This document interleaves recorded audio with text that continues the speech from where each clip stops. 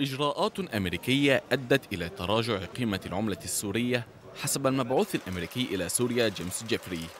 ما يتحدث عنه الرجل هو قرب تفعيل قانون قيصر الأمريكي هذا الشهر والذي يفرض عقوبات على الأشخاص والكيانات التي تتعامل مع النظام السوري. الذعر الذي أثاره القانون هوى بسعر العملة فأصبح الدولار الواحد يساوي 2900 ليرة رغم أن سعره الرسمي هو 700 ليرة.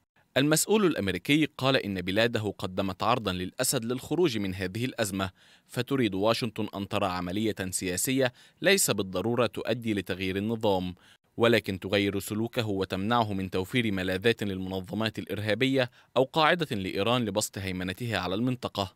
جيفري أشار إلى أن النظام لن يجد مخرجا من هذه الأزمة.